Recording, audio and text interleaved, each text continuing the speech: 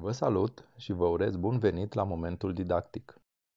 Adobe Acrobat Reader este o aplicație care permite vizualizarea documentelor de tip PDF.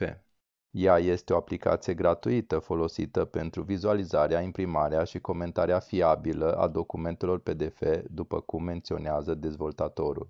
Putem folosi aplicația Acrobat Reader pentru prelucrarea fișelor de lectură, creând note de lectură.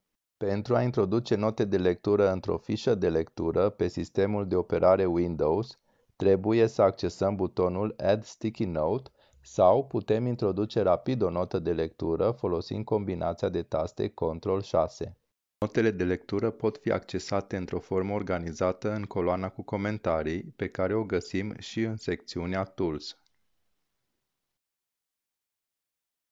Pe dispozitivul mobil, pe Android, de exemplu, apăsăm butonul albastru din dreapta jos, după care alegem opțiunea Comment. Pe banda care a apărut jos, cu opțiunile de prelucrare a documentului, introducem note de lectură folosind prima opțiune din dreapta. Putem introduce note de lectură și într-o manieră mai rapidă, prin menținerea degetului pe ecran timp de 2 secunde, după care alegem opțiunea Note. Mulțumesc pentru atenția acordată.